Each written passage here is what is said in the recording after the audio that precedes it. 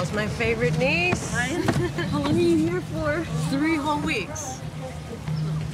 Oh, come on. Three weeks is like forever. We can do a lot of damage in three weeks. We'll have fun. How you doing? Sorry I'm a little late. Christina, you ate without me? Yeah, you were supposed to be here at six. There was traffic. I'm only here a few days and I wanted to have dinner with my favorite niece. Who's this? Louise, my friend. Louise Grzinski? Is that a problem? Mom. Angel, we don't blame kids for their parents' mistakes. If you wanted to be her mother, you should have made that choice 16 years ago when you had her. I'm sorry. No.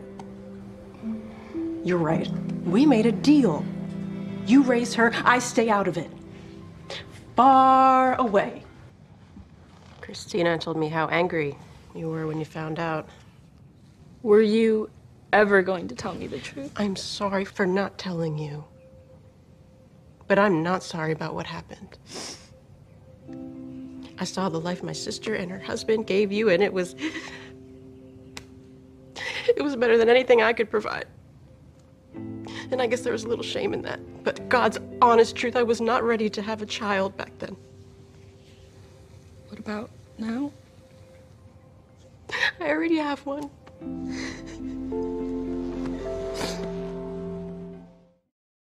You talk to Steve. I'm gonna call for you. You're really gonna hire her? You know me. I like to be entertained. This is not my girlfriend. This is, though, my new personal assistant. So know that if she asking you something, I'm asking it and hop to it. Come on, sweetheart. So what happens to me? Sadly, I think you just became our new tour manager.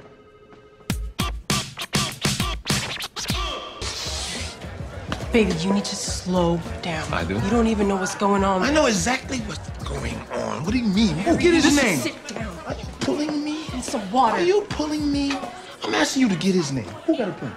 Who got a pen? Yo, Barry! I need Orson Deep Pocket. Bainbridge. Barry, stop. You're acting crazy. What?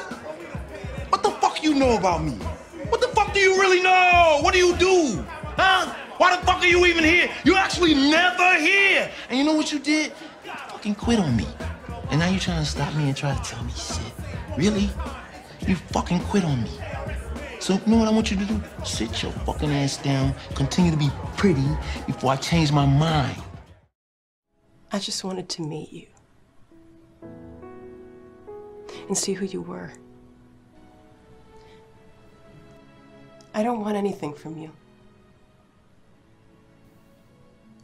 I have a beautiful life a husband, a steady job, and two kids.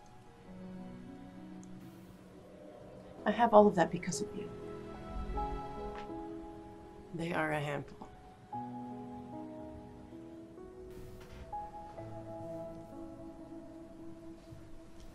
They're beautiful.